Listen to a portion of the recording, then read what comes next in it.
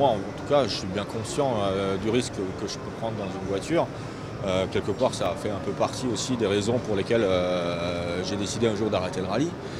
même si je continue dans une discipline en, sport auto, hein, mais, mais, oui, on en est conscient. après, c'est clair que quand on est au volant, il ne faut pas y penser. Si, tu commences à, penser au risque quand tu es au volant, ben, tu ne seras pas au même niveau que les autres parce que c'est des dixièmes qui vont s'envoler à droite à gauche. donc, donc voilà, euh, mais, euh, mais quand, je dirais que pour moi, en tout cas, le, fait de me sentir bien dans ma voiture, d'être à l'aise dans, mon élément, euh, ça m'a toujours permis d'oublier le, risque et, d'y aller à fond. C'est difficile de juger. je ne connais pas tous les.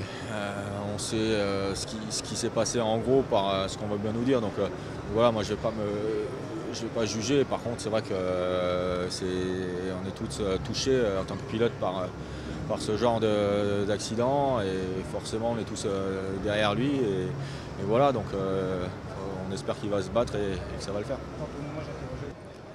Oui, évidemment. Jules est un garçon que je connais bien. je l'ai côtoyé lors de plusieurs stages sportifs qu'on faisait avec la fédération et évidemment j'ai suivi toute sa carrière.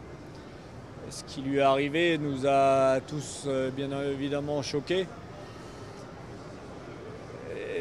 Surtout, ce qui lui est arrivé nous a un peu rappelé que le sport automobile est, un sport dangereux. Alors même s'il n'y avait pas eu en Formule 1, en tout cas, de graves accidents depuis une vingtaine d'années, euh, malheureusement, ça nous, euh, ça nous fait un rappel. Et ce qui est arrivé à Jules est, évidemment très regrettable.